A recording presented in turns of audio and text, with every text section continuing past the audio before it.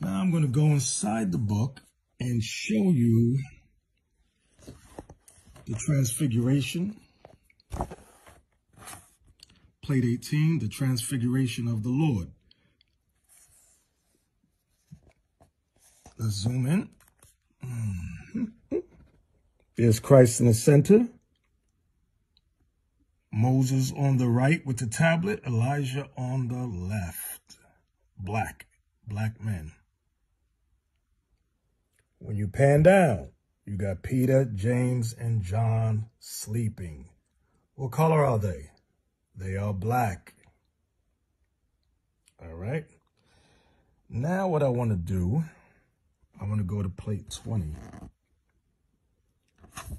The holy apostles Peter and Paul with scenes from their lives. There's Peter and Paul right there.